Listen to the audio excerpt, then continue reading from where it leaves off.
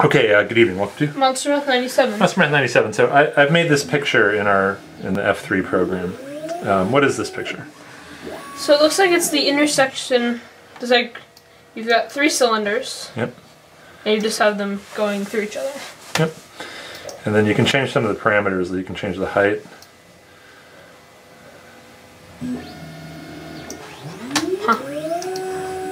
Cool.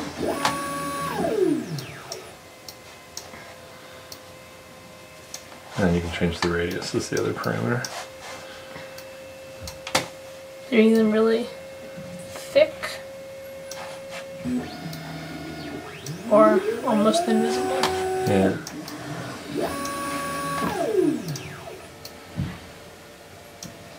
So what shapes do you think are interesting in this picture? Well, it's like, it's just a bunch of cylinders, so you could look at like the extremes.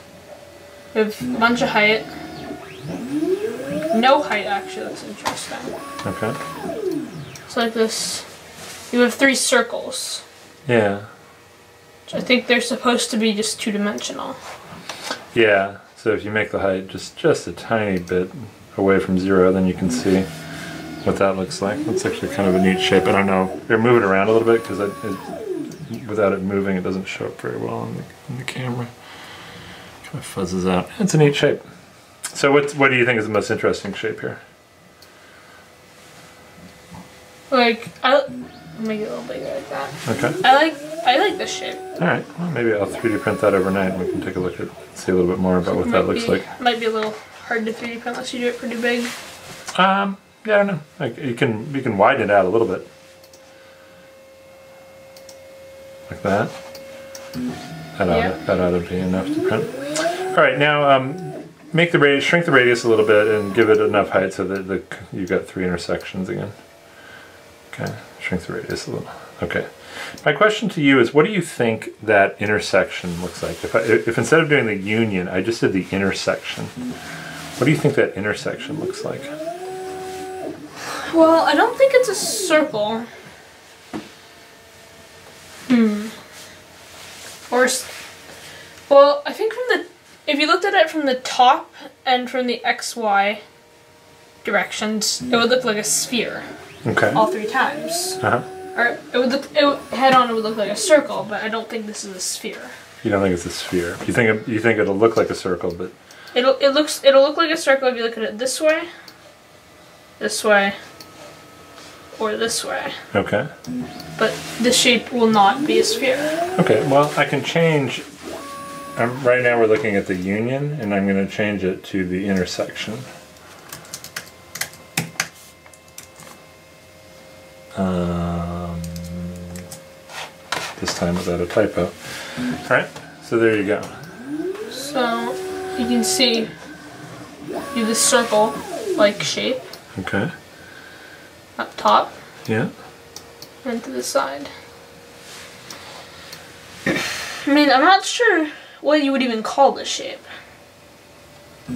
Like, it looks sort of vaguely like a cube, Okay. but you have these weird lines, and it's also got curves. Hmm. Don't know what the shape would be called. Well, uh, are there any features in it that are surprising to you?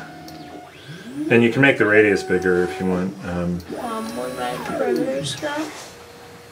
Here, here. Let me just click, click over in the that window. It should have popped up. Here, there. Alright.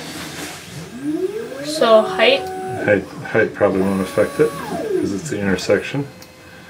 The radius makes it. Whoa. What? what? Well, that's because the um, picture. It went outside of Yeah, I went outside the picture. So make it bigger, but keep it in the picture. so that. Okay. Well, height radius just makes it bigger. Yeah, but big now you can see it a little better. Yeah. Like these are sort of look like diamonds or squares, Okay. you can see that they're curved. And well, there's a lot. This has a lot of neat shapes. Like look, this Yeah. whole triangle thing. It really does have a lot of neat shapes. This shape comes up in a in a in a very challenging problem in calculus class where you try you're given the task of trying to find the volume of this shape. which is a which is a really interesting challenge. For now, I just wanted you to see it, and you can probably hear the 3D printer in the background. Um, Printing this. yeah, we're printing this shape, so you, tomorrow morning you can play around with it a little bit.